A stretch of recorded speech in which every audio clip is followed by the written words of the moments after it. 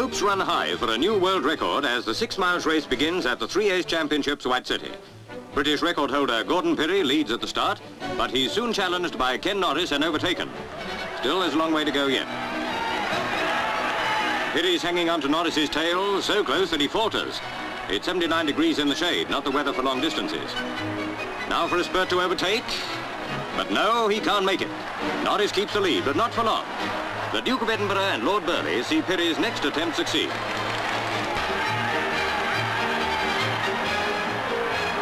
But what's this? Pirie's in trouble, and Norris is away. With only a lap to go, Pirie has fallen out. So Ken Norris wins by half a minute.